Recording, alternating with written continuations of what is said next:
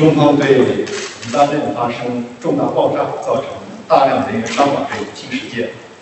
深感震惊和悲痛。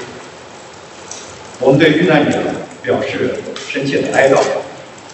向伤者和遇难者家属表示诚挚的慰问，祝愿伤者早日康复。中方愿向愿为黎方脱除有关事件，实现国家的发展，积极提供力所能及的帮助。